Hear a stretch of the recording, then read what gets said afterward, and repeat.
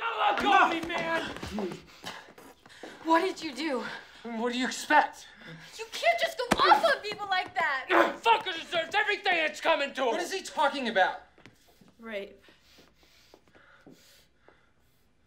He raped me.